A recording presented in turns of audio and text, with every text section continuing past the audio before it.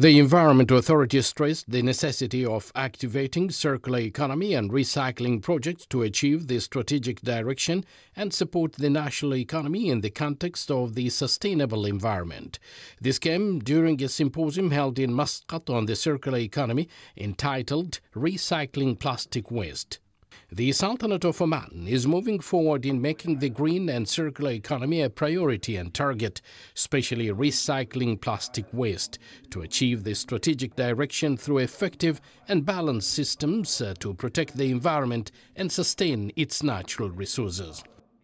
Uh, we are here to propose solutions for this uh, uh, global environmental issue of plastic pollution. Plastic uh, is something we cannot give up. Uh, we need plastic for our daily life, but we need uh, a sustainable management of waste plastics.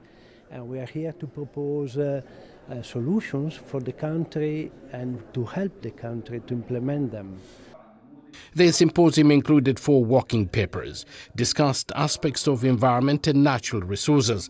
The first paper reviewed the global and regional vision for plastic waste recycling and the circular economy. The second paper was titled A Comprehensive Global View on the Waste to Plastic and Sustainability Crisis, followed by the third working paper titled Global Legislation and Strategies. The sessions uh, concluded uh, with the paper presented by the Environment Authority entitled The Structural Framework in the Sultanate of Oman.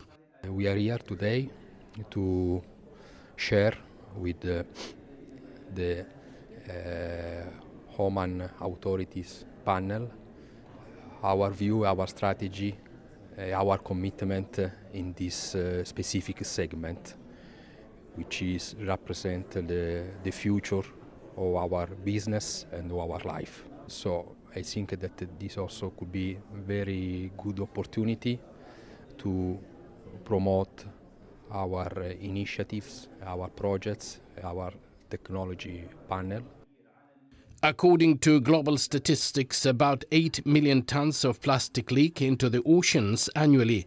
Therefore, the circular economy was adopted to reduce the waste of materials, goods and energy and maximize their use so that consumption, waste and emissions are reduced in order to achieve national priorities and goals and be consistent with global environmental trends. Abdullah bin Ahmed al-Rubi'i, Sultanate of Oman Television, Muscat.